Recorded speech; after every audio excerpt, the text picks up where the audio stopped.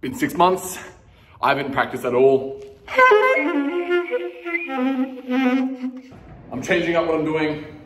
I'm gonna be doing what I was doing, but I'm gonna be talking about movies, shows, games, shows, etc. I watch all this stuff, so I think I can give decent reviews and insight. We'll see how it goes. I'm also gonna just be doing some light incline bench today. I'm gonna ease back into it. Um, and of course, I'm gonna be going over Deadpool and Wolverine. I know bit, I'm a bit late. I'm, a,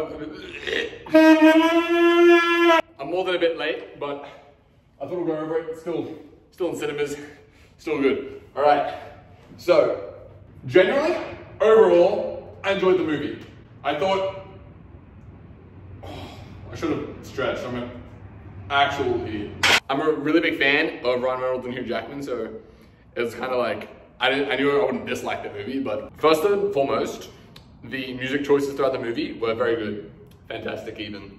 Could you tell that was bye bye bye? Life is a... I don't even know, I'm still trying. But yeah, the music scenes, music choice, everything really well, worked really good. Um, Hugh Jackman, easily the star of the film. Um, definitely gave the most emotional performances. Jokes, overall, I thought were pretty good.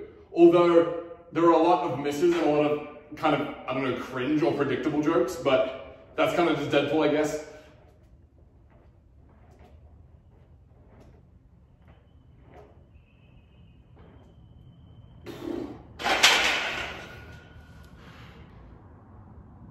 First watch is really good. Um, I do think a lot of the scenes rely heavily on the shock factor and the cameos, and there's actually nothing really interesting happening in the plot. The real weaknesses of this movie, I think the plot is just a lot of nothing majority of the time. Secondly, the villains just aren't that interesting. Um, I do like that it at least ties in a bit to the other Marvel shows recently, but compared to recent MCU though, it was very good. Um, and I think that gave me like a, a, kind of false perception after I first watched it that it was better than it actually is. The past week or so, I went back and watched a bunch of the older Marvel stuff. Relative to the new stuff, it's great. Relative to the old stuff, it's kind of mid, but it's still good. Like I don't really know if you can put Deadpool in with the other with the other things in the series because it's just very different. It's very different. Um, uh, the wind blowing up, my face is stuck. In regards to the cameos, I do think they were like really good choices and they didn't overdo it too much. I think it was a pretty perfect amount. Um, I like you do get the feeling that more is just gonna keep coming and coming, but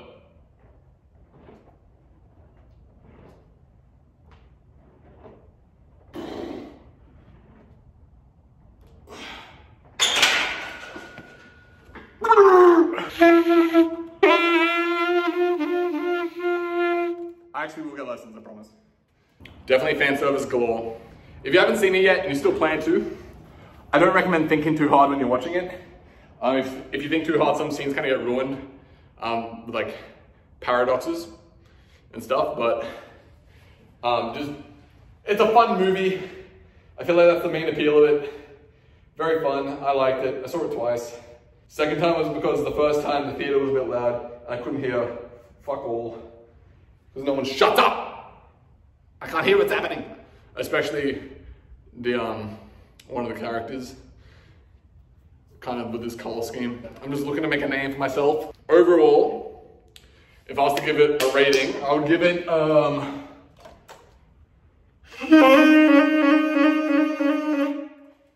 seven sexes, point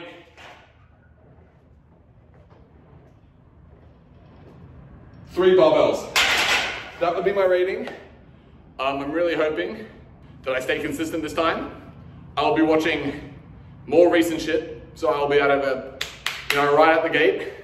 No more of this delays. And yeah, Mary had a little sax, making her comeback. If you have any uh, things you want me to review, I was gonna review uh, the, the Black Wukong. That doesn't sound correct, but you know what I'm talking about but my PC couldn't handle it, so have a saxophone bay.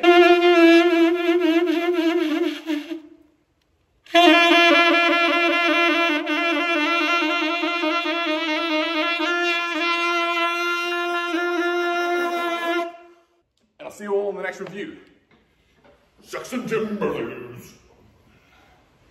Oh, I feel like I'm gonna pass out and I should not.